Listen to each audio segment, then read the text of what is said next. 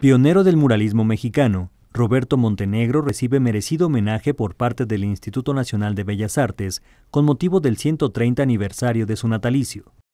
En esta ocasión, el pintor, litógrafo, escenógrafo, promotor y difusor cultural es recordado como coleccionista de arte popular a través de la exposición Roberto Montenegro, Expresiones del Arte Popular Mexicano, que se exhibe en el Palacio de Bellas Artes a partir de este 7 de diciembre y hasta el 25 de febrero de 2018.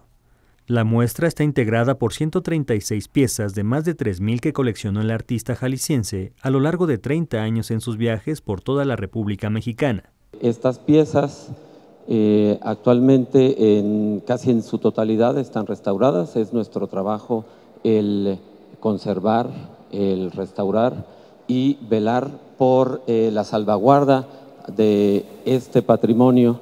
La exposición también cuenta con obras de caballete y reproducciones digitalizadas de los murales de Montenegro, la fiesta de la Santa Cruz y alegoría del viento.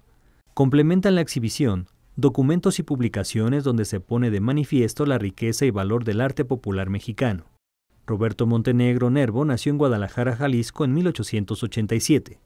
Con información de Gabriel Vaquero e imágenes de Rodrigo Colín, Notimex.